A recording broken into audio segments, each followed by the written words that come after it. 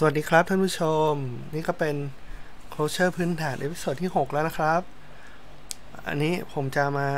สาธิตให้ดูว่า การเอาฟังก์ชันไปยัดเข้าไปในฟังก์ชันอื่นแล้วใช้งานเนี่ยเขาทำกันยังไงนะครับ คือคือคนอื่นน่าจะไม่ได้ทำอย่างนี้ก็ได้แต่ว่าจะทำให้ดูนะฮะอ่าอันนี้ผมรับฟังก์ชันชื่อ run นะครับ รับตัวแปรชื่อ f เข้าไปครับ x เข้าไปเนาะ แล้วข้างในเนี่ย ผมจะให้มันไปรัน f อีกทีหนึ่ง แล้วก็เอา x ยัดเข้าไปใน f อืมแล้วก็คืน คืนออกมา คืนค่าค่าออกมา นะฮะนี่ก็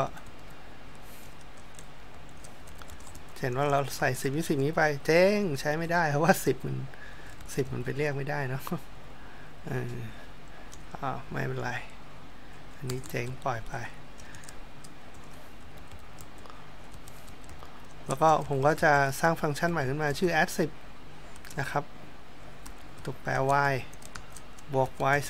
10ปั๊บปั๊บยังมูสั่งรัน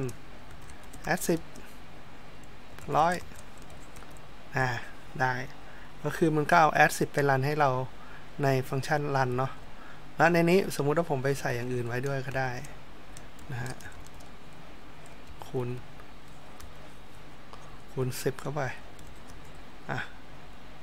เมื่อกี้มันได้ร้อยสิบอันนี้ก็เป็นพันหนึ่งเงี้ยนะ ก็คือ ในโคเชอร์ครับ เราเอาฟังก์ชันที่มีอยู่เนี่ยไปยัดเข้าไปในฟังก์ชันอื่นก็ได้นะแล้วก็ฟังก์ชันนี้เป็นฟังก์ชันหนึ่งที่ใช้บ่อย inc ก็คือ บวกหนึ่งนั่นเองนะฮะ เราลองยัดเข้าไปดูร้าน inc 8อ่าก็เป็น 80 เพราะว่า 8 บวก 1 ก็เป็น 9 เอ้ย 90 8 บวก 1 ก็เป็น 9 คูณ 10 ก็เป็น 90 เนาะอ่าแล้วก็มีฟังก์ชันหนึ่งที่ใช้ลักษณะการยัดไปยัดมาอย่างนี้นะครับ แล้วก็เป็นฟังก์ชันที่เราใช้บ่อยอะ่ะก็คือ map นั่นเอง เมื่อวานนี้เราดู range ไปแล้วเนาะ range 10ก็จะรันออกมาอย่างนี้0ถึง9ถ้าเรา map เราใส่ inc เข้าไปได้ เราใส่10เข้าไปก่อนก็ได้ แล้วมันเป็น range อย่างนี้ใช่ไหมครับ มันควรจะเป็น0ถึง9เนาะเราสั่ง map ปั๊บก็จะเป็น10ถึง19แทนอ่าผมมันเร็วไว้ว่าเมื่อกี้10ถึง19นะครับเออถ้าเราใส่ inc ก็เป็น 1 ถึง 10 ก็คือบวกเข้าไปแค่1อ่าแล้วก็เอามาผสมกับ episode ที่แล้วคือใช้ลูกศรอย่างนี้นะฮะ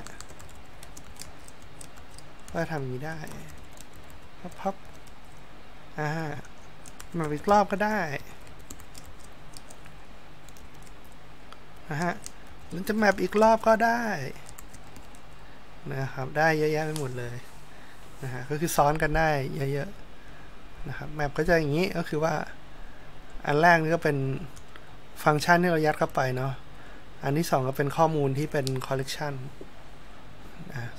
map โดยพื้นฐานเราก็เป็นอย่างนี้เอาแบบพื้นฐานก่อนแล้วกันอ่าอีกตัวหนึ่งก็คือฟิลเตอร์เดี๋ยวก่อนใช้ลองเล่นดูก่อนว่ามันได้ไหมลองได้เออ มันอ่านว่าอะไรออดใช่ไหมอาจจะอ่านผิดนะแปลว่าฟังก์ชันนี้มันจะเป็นจริงก็แต่ก็แต่เมื่อเลขที่ส่งเข้าไปมันเป็นเลขคีย์อ่า even ก็จะเป็นจริงว่าเลขที่ส่งเข้าไปเป็นเลขคู่นะถ้าเป็นเลขคีย์ก็เป็น false ฟังก์ชันที่จะนำเสนอต่อไปคือ filter ก็คือว่าเราลองเอา event ใส่เข้าไป แล้วเลนสัก 10 เหมือนเดิม มันก็จะเอาออกมาแต่เลขคู่ให้เรา ถ้าเราใส่ odd ก็จะมาแต่เลขคีย์แล้วเราก็มารวมกันได้อ่า range set filter อันนี้ก่อนอะ แล้วก็บวก 60 แล้วกันครับอ่าก็มันก็จะเลือกเอาเฉพาะจำนวนคีย์ออกมา แล้วก็มาบวกอีก 10 นะครับ อ่าก็ อันนี้ก็จะเป็น รูปแบบที่เราใช้บ่อยๆนะ ก็ ถ้าเข้าใจไว้ก็จะมีประโยชน์มาก ถ้าถ้าใครเคยเขียน SQL นะ ผมว่ามันก็คล้ายๆกันนะ SQL มันจะมี select from where ใช่ไหมอ่าอันนี้มันก็เหมือน อันนี้ อันนี้มันก็เหมือน range ฮะนะสมมติว่านี้เป็น A เออแต่แต่ map จะเป็นลายทีเนี้ยฟิลเตอร์อยู่ตรงนี้ where b แล้วก็มาบวกมาอะไรอย่างนี้นะ ก็เป็น C มาอยู่ข้างหน้า มันก็จะคล้าย SQL เหมือนกันครับก็ ถ้าใครชอบก็อย่าลืมกดไลค์นะครับ ถ้าใคร อยากติดตามตอนต่อไปก็อย่าลืมกด subscribe กดติดตามเนาะขอบคุณที่ติดตามรับชมครับ สวัสดีครับ